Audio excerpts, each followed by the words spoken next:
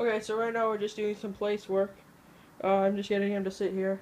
It's about four and a half inches off the ground. This is my uh, German wire-haired pointer blue heeler mix. Uh, he's just short of six months old. So uh, there he goes. He's posing real nicely. I just told him to hop and then to place.